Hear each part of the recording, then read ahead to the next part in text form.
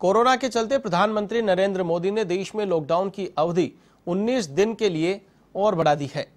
जिसके बाद इटावा में आईजी मोहित अग्रवाल ने शहर का दौरा किया। इस दौरान उन्होंने लॉकडाउन की सख्ती से पालना कराने के निर्देश दिए।